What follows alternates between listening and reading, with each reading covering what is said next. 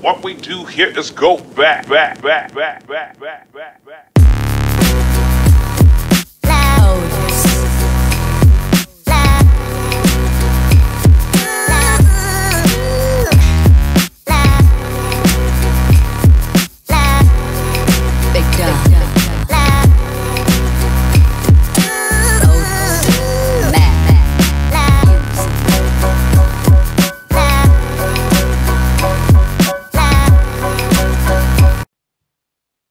Hey guys, and welcome back.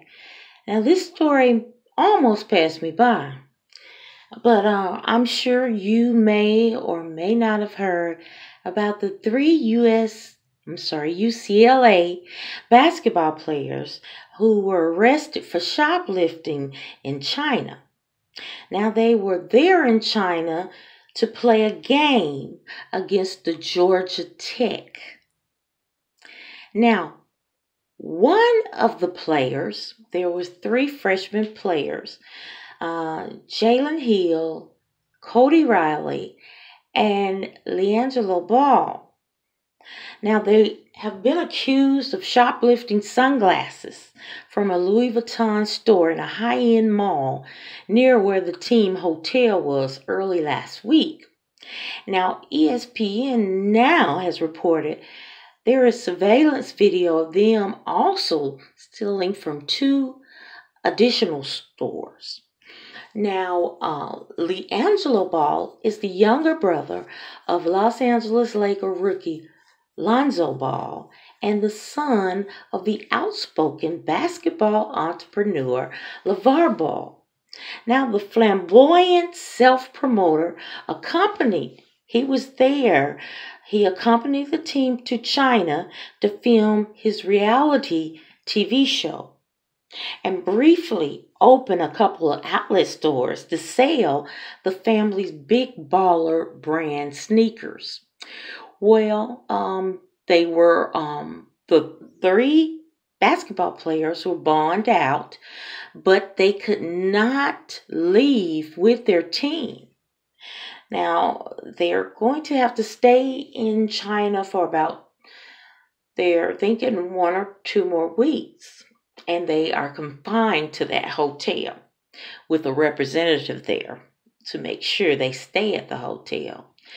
Now, um, what they are reporting now, you know, uh, President Trump was over in China on last week, and a lot of people had said, oh well you know he hadn't said anything about the um, the boys over there who have been arrested uh, for shoplifting well we find we found out today that president trump lobbied for LiAngelo Ball and UCLA teammates, according to the White House.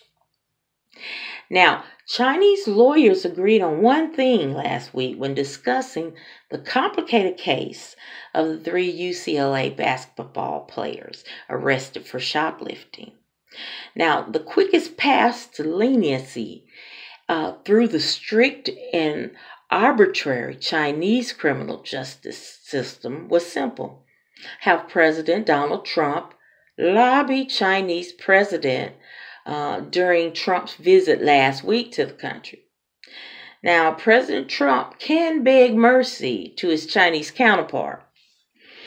But now we know, knowing Trump, he did not beg. He's not going to beg for anything. But the Washington Post reported Monday that he did raise the issue with the China president.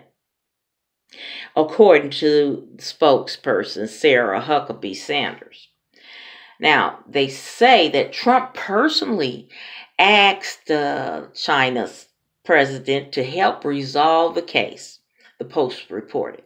Now, citing an unnamed U.S. official, uh, China president reportedly said he would look into the case and ensure the players are treated fairly and expeditiously. That same official said the charges have been reduced. So I'm sure because when I first heard this story break, I was like, oh no, you know, China have so they're their criminal system is nothing like ours. They're they uh, stricter punishment for uh, lesser crimes than we have. So I was like, oh my goodness, they might be trapped over there. They might, you know, serve a lot of years over there. But you know, we'll just have to. Um, we just have to find out.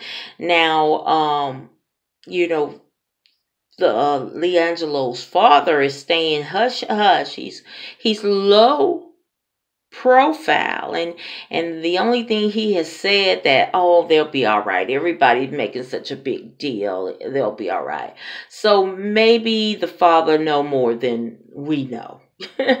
You know maybe you know he knows more than we know and that they will just get a, a pat on the hand now, why on earth would this boy be shoplifting when I'm sure his brother or his father could get him anything he wants?